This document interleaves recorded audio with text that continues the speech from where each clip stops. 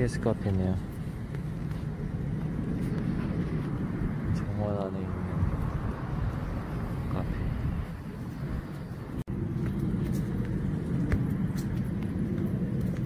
카페인데 밀림 밀림이 아니고 정글 아니 정글도 아니지. 카페인데 되게 와 사람 많다.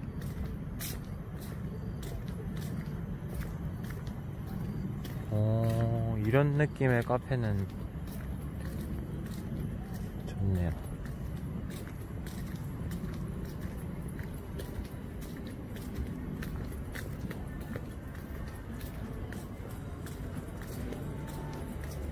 아, 이게 이제 브런치도 하고 하는 거구나.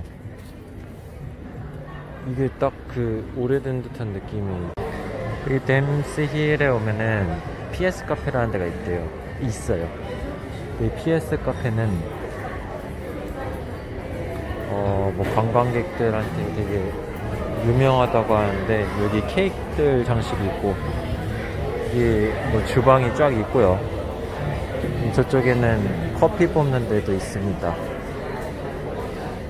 여기는 truffle fries가 되게 유명한 것 같아요. 트러플 향이 엄청 강하기 때문에 밖에 오면은 열대 정원 같은 그런 게 있고요.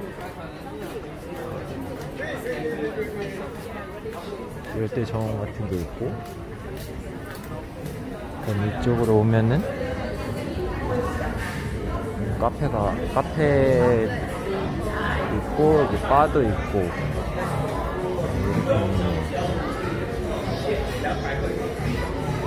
나중에 오시면 댐스힐에 오시면 와봐 나쁘지 않을 것 같은데 저희 나라에 요새 이제 좋은 카페가 너무 많아서